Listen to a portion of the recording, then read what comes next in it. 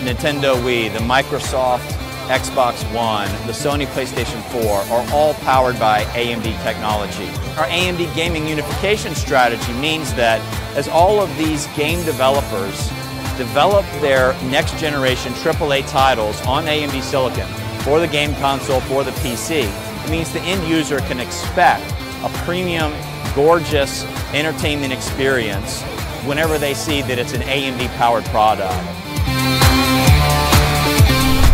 One of the biggest and most anticipated first-person shooters, Battlefield 4. There are a lot of challenges on developing on PC also, and we're working with AMD on a solution for this, and it's called Mantle. Mantle is a new low-level programming interface, getting you 2018 hardware today.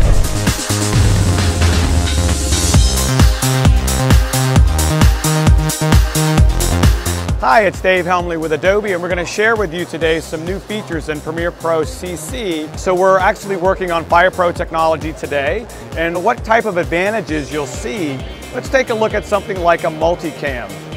So as I'm working with my multicam, a lot of the windows that are having to update here are actually being controlled by OpenCL. You need that graphics pipeline to actually play back, in this case, all five layers of video. And don't forget, this is also being fed out of my other monitor here. So OpenCL, that card is controlling both of those. We can actually play in real time with the vortex field magnitude. So if I reverse the magnitude, it will going one way or it could going to, to the other way.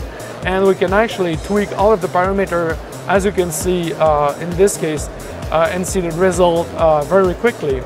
Anybody who's familiar with DaVinci Resolve knows that GPUs formulate a huge part of what we do.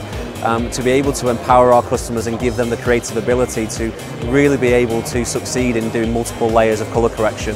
Um, the FirePro card, we can, we can, actually work with up to five of those um, FirePro cards within our Resolve system, one for UI and four for GPU acceleration, um, enabling us to do some fantastic things like tracking and noise reduction, um, but also really just to enable um, our customers to create beautiful looking images.